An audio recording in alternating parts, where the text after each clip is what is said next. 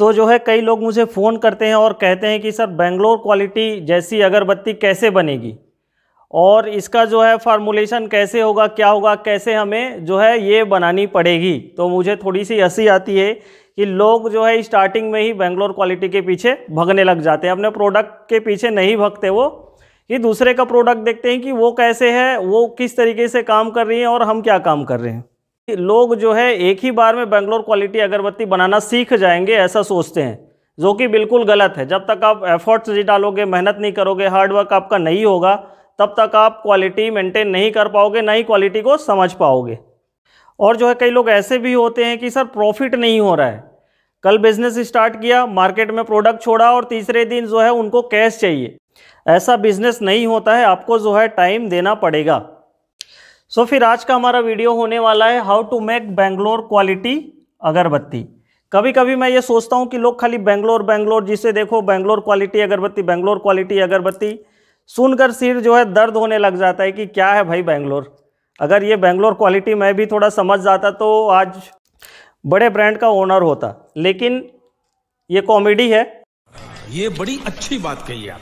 और समझते हैं कि क्वालिटीज़ कैसे जो है मेंटेन किया जा सकता है और हमें इस पर ध्यान देके काम करना चाहिए। तो जो है टॉपिक में आगे बात करने से पहले एक छोटा सा रिक्वेस्ट अगर आप हमारे चैनल को सब्सक्राइब नहीं किए तो सब्सक्राइब ज़रूर कर लीजिए, क्योंकि अगरबत्ती बिज़नेस से रिलेटेड ऐसी कुछ इन्फॉर्मेशन हमारे चैनल के थ्रू आपको मिलती रहेंगी तो चैनल प्लीज़ आप सब्सक्राइब करके ज़रूर रख लें। तो बात करते हैं हम टॉपिक के ऊपर। सो जैसे कि अभी मैं हाथ में रखा हुआ हूँ बेंगलोर की एक कंपनी की अगरबत्ती, जो कि काफ़ी अच्छी है फ्रेगनेंस काफ़ी अच्छा है ओडी नोट्स में है और काफ़ी लास्टिंग परफ्यूम है और बूस्टिंग भी काफ़ी अच्छी है। फ्रेगनेंस काफ़ी टाइम तक होल्ड होकर रहती है, जहाँ भी आप जलाओ। तो ये होती है भाई बेंगलोर की अगरबत्ती। लेकिन इसी तरीके से हम जो है अगरबत्ती कैसे बना सकते हैं? अब इस जो है लॉजिक को हम समझते हैं। हमारे भारत में अधिकतर लोग जो है नए स्टार्टअप होते हैं, नया जो है बिज़नेस चालू करने वाले लोग होते हैं और स्टार्टिंग में ही क्वालिटी के पीछे भागने लग जाते हैं, अपने प्रोडक्ट को वो नहीं देखते। पहली चीज़, जब बिज़नेस कोई स्टार्ट करता तो सबसे पहले होता है प्रोडक्ट सबसे पहले हो गया उनका ये, जैसा भी हो, अगरबत्ती का प्रोडक्ट हो, जो भी हो, पूजा सामान सामान से रिलेटेड जो भी प्रोडक्ट और जो दूसरी चीज़ होती है क्वालिटी यहाँ पे दूसरी चीज़ हो गई हमारी क्वालिटी अब जो है ये दोनों चीज़ों पर जो है पूरे प्रोडक्ट की वैल्यू जो है होती है। एक प्रोडक्ट और उसकी जो है क्वालिटी प्रोडक्ट कोई भी हो सकता है, अगरबत्ती हो गया, धूप हो गया, धूप स्टिक्स हो गई, और बहुत सारी चीज़ें हैं।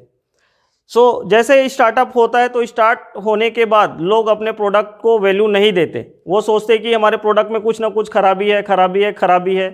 तो जो है स्टार्टिंग से ही आपका ब्रांड जो है बूस्ट नहीं हो जाएगा एकदम से बड़ा नहीं हो जाएगा एकदम से आप क्वालिटी वाइज प्रोडक्ट नहीं बना पाओगे। उसके पीछे का रीज़न ये है कि जो चीज़ें हैं जो सीखने का नज़रिया है उसके पीछे जो एफर्ड है बाई द वे ये अगरबत्ती है। अब अगरबत्ती कैसे बनानी है? जनरली आप जानते हो कि मशीन है प्रीमिक्स है परफ्यूम और डीप ऑयल इस तरीके से अगरबत्ती बन जाती है। लेकिन जो इसके पीछे की क्वालिटीज़ हैं, जो चीज़ें यूज़ की जाती हैं और किस तरीके से किस क्वालिटी में यूज़ की जाती है, उसको समझना बहुत ज़्यादा ज़रूरी है।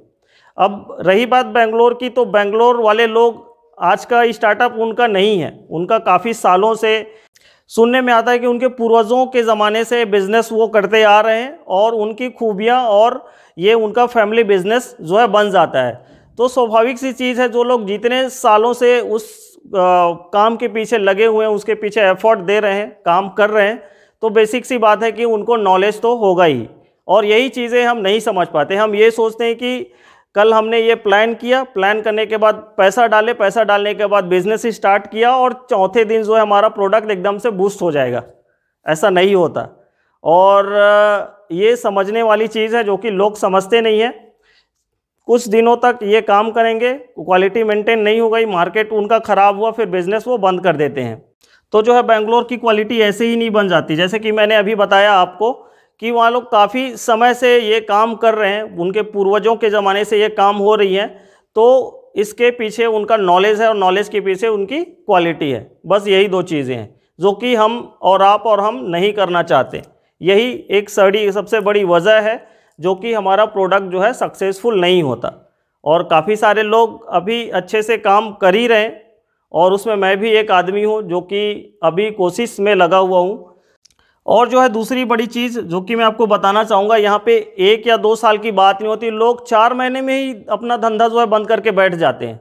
और धंधा ऐसा नहीं होता, आपको मिनिमम चार से पाँच साल देने ही होंगे, तभी जाके आप एक अच्छा प्रोडक्ट और एक अच्छा इनोवेशन करके अपने बिज़नेस को बना पाओगे।